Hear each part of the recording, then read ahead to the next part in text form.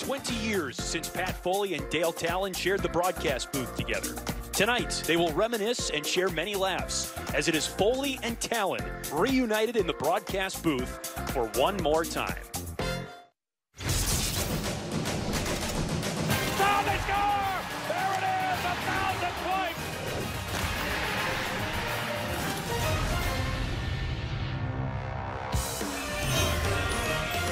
Blackhawks back on home ice tonight where they have not won a game in a month. That only encompasses five games, but a huge game for the opponent.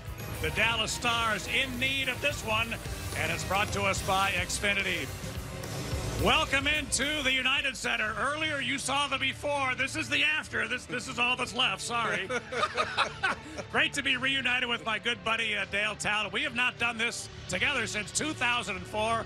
Looking forward to a few laughs with my buddy tonight. Well, Patrick, uh, the reason I'm here is because of you. We had uh, great times doing the games.